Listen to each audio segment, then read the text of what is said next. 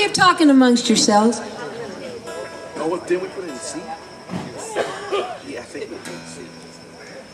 You are not talking amongst yourselves. Okay, you can sit there and stare at us all you want. I'm gonna win.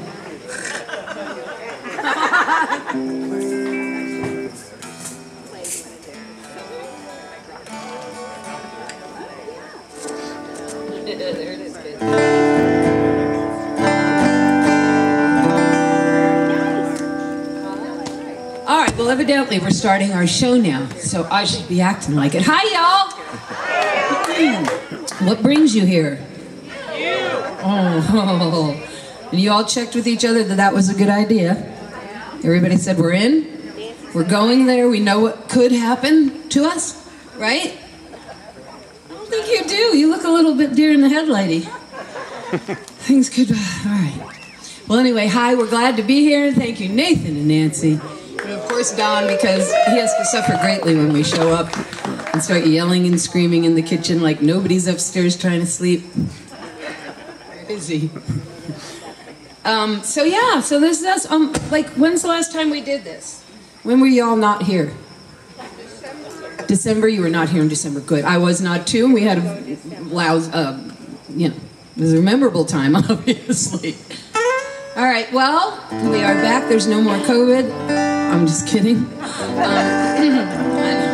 I have no filter as usual, so if you have sensitive people that you brought here and forgot, I'd say let's let's get on out. okay, cool. We're all understood. So we're gonna start, and we're starting off with a little song.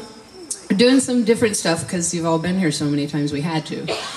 Uh, and so this is a song that um, was given. I, I did a recording of it in 19 like 75, and so I would have been around 16 years old because I had to leave home, and if I left home, the deal was I had to get a job. So I went and got a record deal at 16, and uh, then I had to find music, and so a bunch of my friends got together and brought me music to do, because that's imperative if you're going to make a record. And I wasn't with my family band, so um, a friend of mine brought me this song from a friend of his, and then another friend of theirs went on to record it and and make a very famous recording of it. But I recorded it first. I'm just saying, it's no big deal. She doesn't tell everybody, but I do. Anyway, so here we go. Here's a song um, that I recorded on Warner Brothers when I was 16. Oh, okay.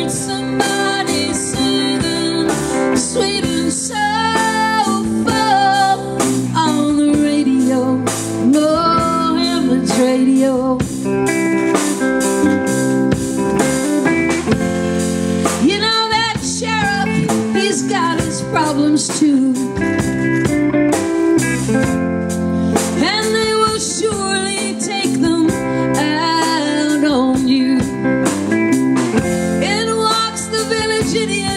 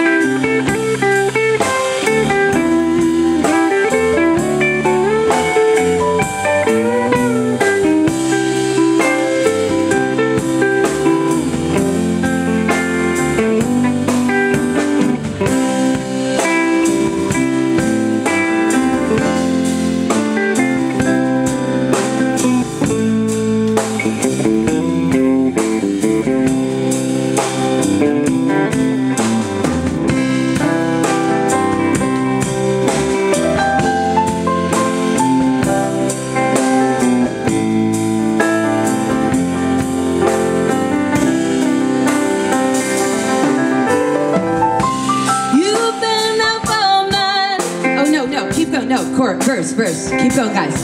Here we go. Watch. Everybody's desperate and they're trying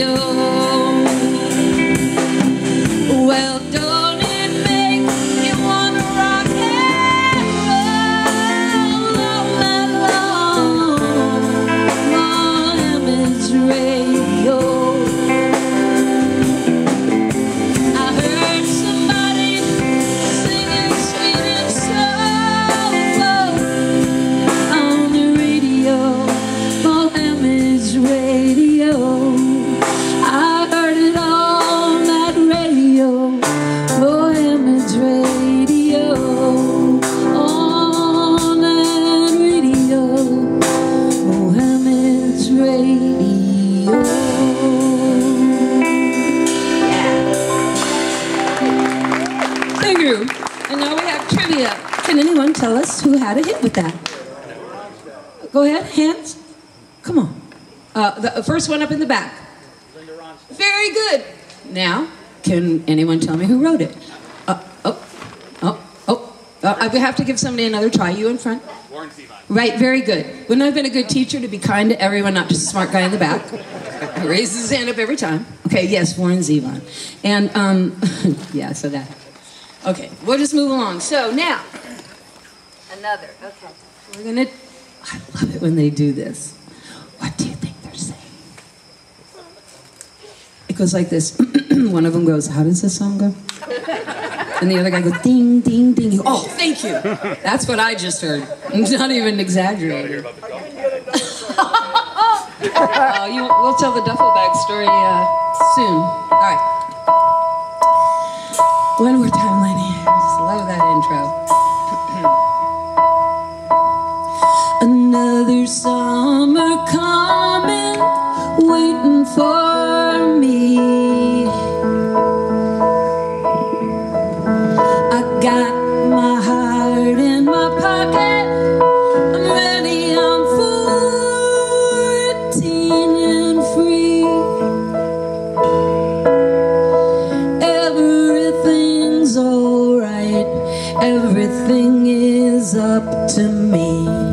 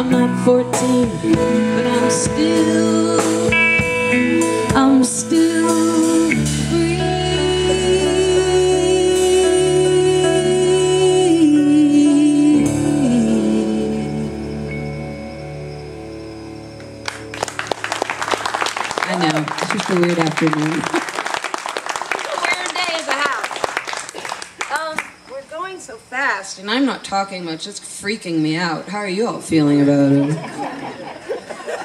Two songs in, Russ says like I'm a junkie or something. Um, just feel like it's like wow. And then all these folks to the left showed up from God knows where. Are you just finishing golfing? Is this just a late tee off with glow balls? Hi. Okay, I guess that was enough. Um, it's a birthday today. Oh, come on. Oh, come on. Dave James' birthday! To you. To you. His name's Dave.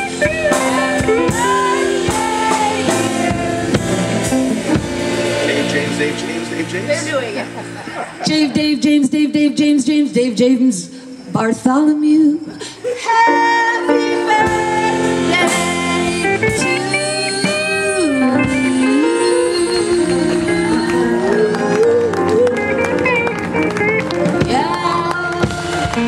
Happy birthday. Thank you. Thank you for joining us. We'll be doing some of Dave's material later. I feel better now. yeah. Hey, question, real super quick. Anybody here from Texas? Just one. Okay. Oh, we'll we'll think about it. yeah. Are you? Would you consider yourself like a? I don't know. Like you know, like are you a tough cookie, or are you a kind of sensitive and a little special? I, I feel I, I think I already got it. Okay, we're gonna skip the Texas song. All right, here we go. We're gonna do this one instead. We weren't gonna do it right now anyway, but it, we'll, we'll come up with. He has a lot of good songs, so it's not like we're stuck with Texas. Okay, um, yeah. I'm glad I asked.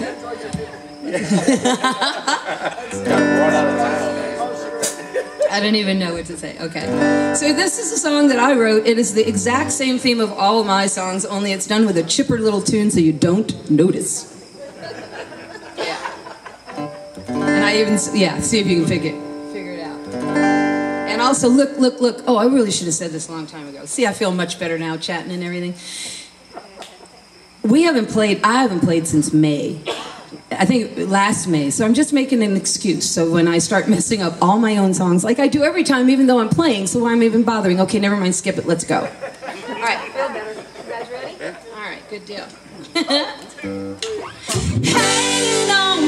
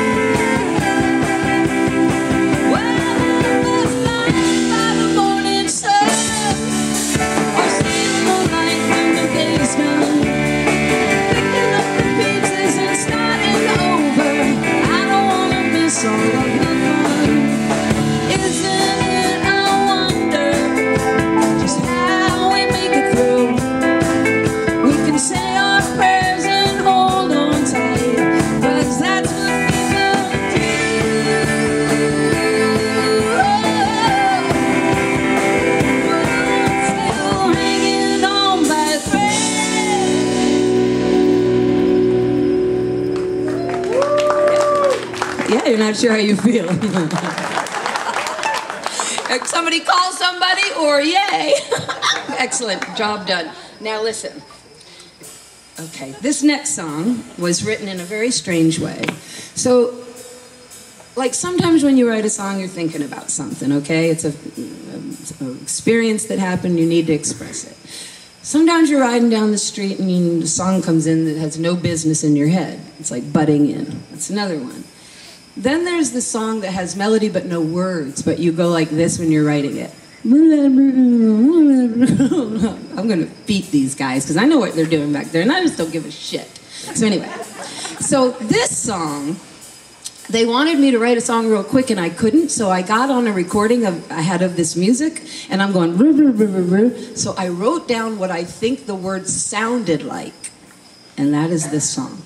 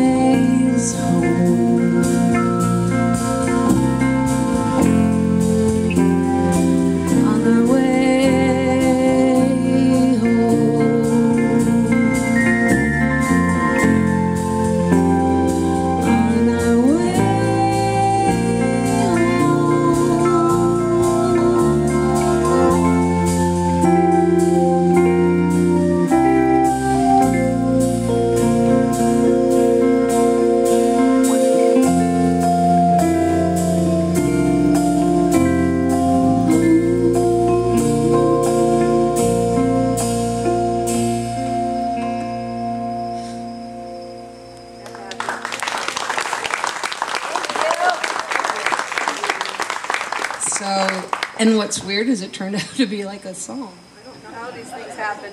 I'm being, you know, what do they call that? Researched or observed. Nothing to report yet, though, so I'll get back to you as soon as we have any findings. But in the meantime, we're going to do a really fun song by Mary Chapin Carpenter. Right? Okay, good. See if they're still in agreement with me. Um, I would like to introduce you to the band, though, because they are the most tolerant gentlemen in Louisiana. So, with that in mind, um, Dave, Dave, James, James, or Dave James is, uh, and, and Bartholomew, I made it up right there. And it's Happy Birthday, Dave James. That's his real name is Dave James. This is one of my favorite uh, security animals. This is Renee Coleman. I keep him with me to keep me cool. This is another one who's just about to be put to the pound. Over here, his name is Michael Lemler. I like to call him Lenny. He's in trouble today. He's in trouble with my husband back there, Russ Broussard. I don't know. Just feel like it.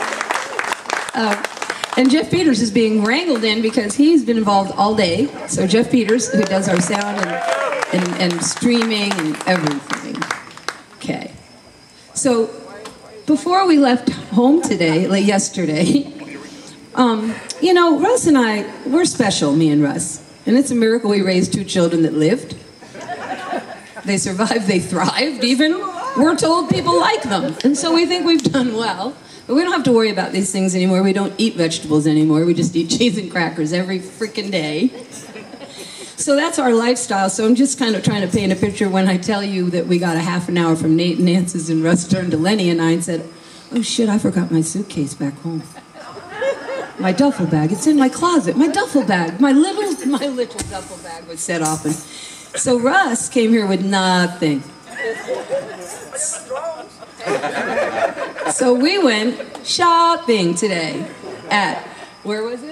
Russ for less. Rust for less, we call it. And we literally had to have a team because my husband's special. We had a situation where I had several shirts, he has several pairs of shoes, and there's a man watching us going, I can't handle this. This team effort's great. There's more number nine shoes around the corner. Um, so I just wanted you to know the effort that has gone into this evening by Russ and me. Yeah, I think I think he deserves a round of applause. And then uh, yeah, and it's just like we like to make things as freaking hard as possible um, where we come from. So in that light, we've done this once before, and so let's go and try a new song. It's a Mary Kate, uh, uh, Chapin Carpenter, but I love this song. I think it's really cool. And uh, Lucinda Williams did a real nice version. I could maybe do hers. Nope, we're not doing it. Nope, we're not. Yeah. Okay, you're all ready? Okay. Oh, wow.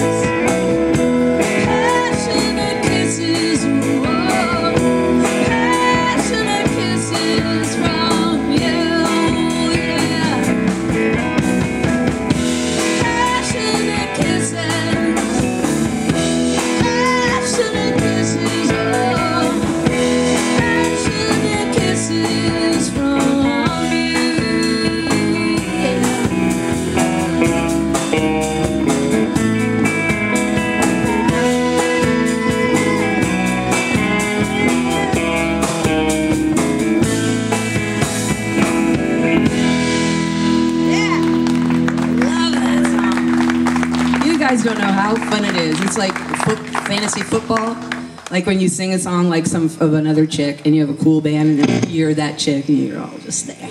That's what that's like for me. Just telling you. All right. But I could have went. Do I want too much? I'm I going overboard on that tug? I want to. Okay. Oh, yeah. What do we got? Oh, brother. Literally. Okay, guys. Y'all want to take a break? I got a story to tell. okay. So, I have um, A lot of dead relatives, as I'm sure you all do too. It's not like a special moment. Please do not take offense on how I handle my dead relatives, please. Thank you. So now, with that in mind, um, okay, so this, okay. So I had a brother named Barry, and he was a very good songwriter, and he died in Katrina, which is very tragic and makes for very good songwriting fodder.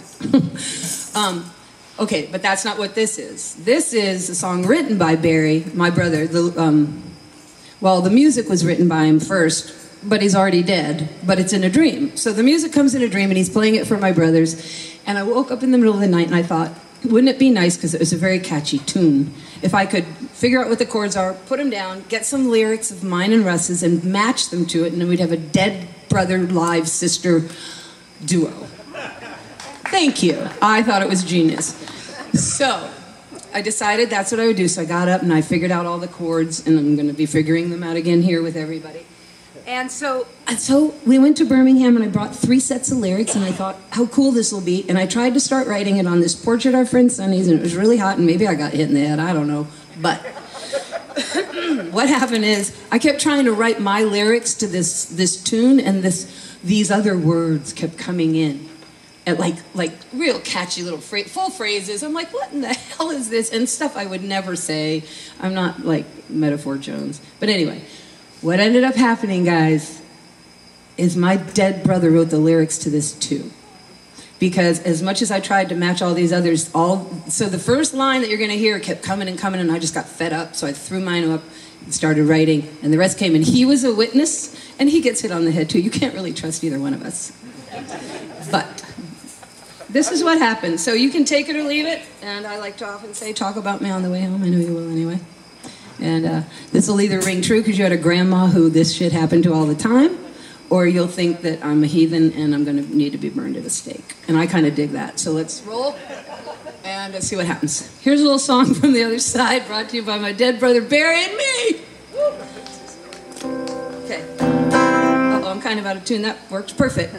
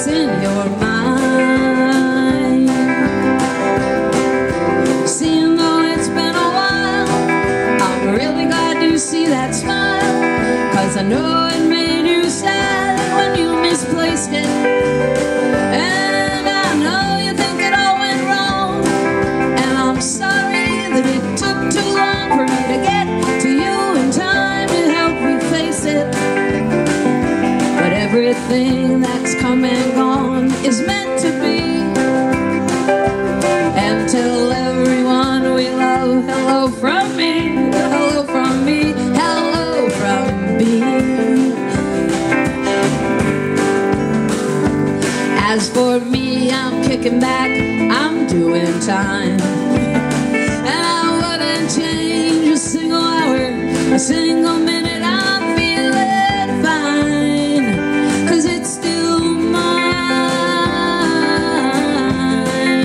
Yeah. Uh-uh. There's so much that you don't know still left to be.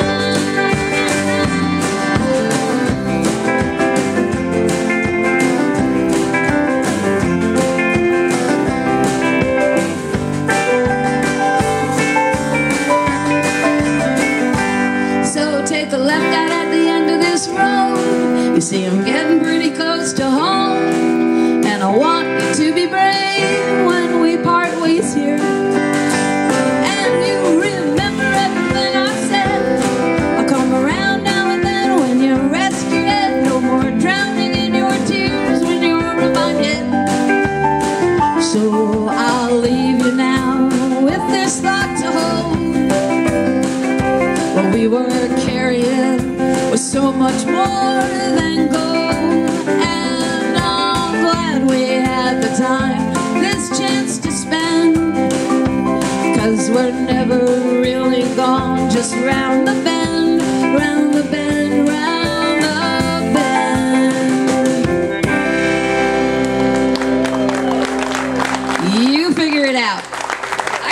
like that if my life depended on it. Because he doesn't rhyme. What's wrong with this guy?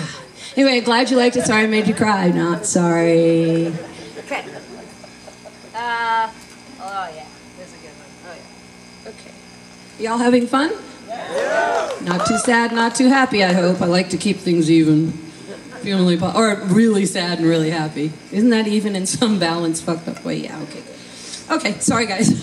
Nate Nan? Everything's still okay? You're gonna get calls, I think, after this one. Maybe one or two. Okay. Um, real life. Hmm. Is that what's next? Okay. Okay. So I have to tell this story because my threadhead pals are here. Was that me? What's happening? No, My fault. I always think it's me.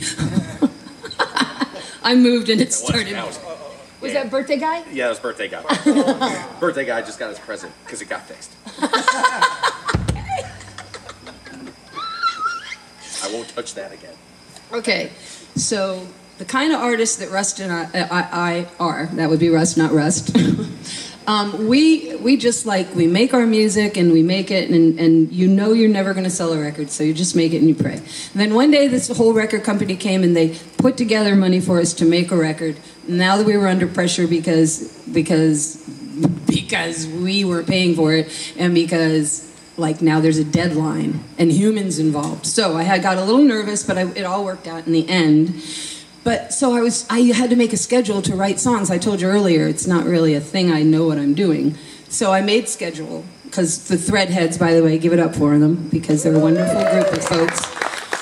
And so they were and so like oh my god. And so made a schedule take the kids to school come home. Right from 9 to noon watch all my children from noon to 1 right from 1 to 2 go get the kids. Okay that was going to be the thing it did you know and i'm i'm sitting there it's like 9 o'clock ding and i'm picturing myself like like many writers like like in a feathered hat with a ruffled shirt like i'm to get all deep and i just sit there and stare waiting for 12 so I could watch all my children. So I started writing this song and I couldn't finish and I was getting really upset about it and I was just feeling like a child under pressure. And I wrote this song instead. so this is this song instead. Real Life. It's a protest song. Feel it?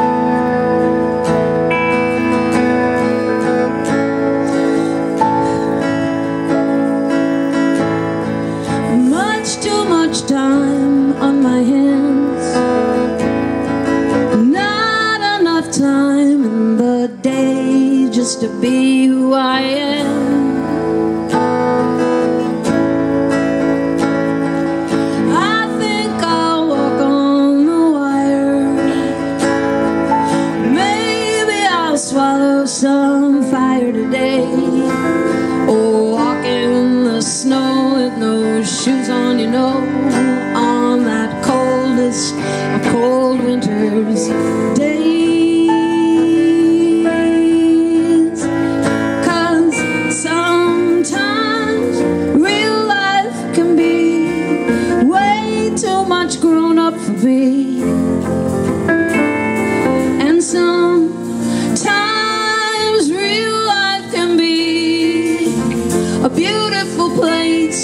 You never ever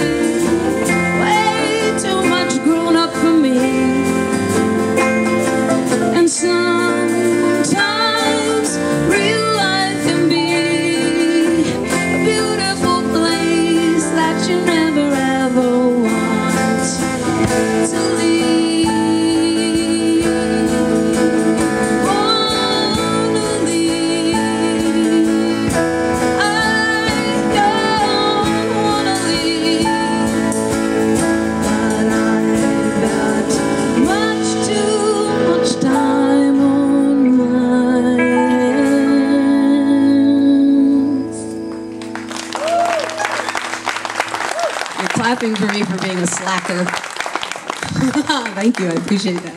I read very prominent writer whose name I can't remember, but I think it was ended Fellow or Wadsworth or something important. He he he observed that he felt that the most highest form of human on the planet were the people who just walked around pondering. I love it. I want to be that guy. I want to just be important for pondering. Okay, so. Oh, yeah, let's do that. Okay, here's a big moment. Is it. Okay, we're doing a song that we only did once today, and we're going to do it twice now. And it's um, a song. It's for Nanci and Nate because we love them. And this is our one of our, yeah Nanci and Nate. They put on these wonderful musical things, not tonight, but all the other times for you guys. And I think you need to give it up for them.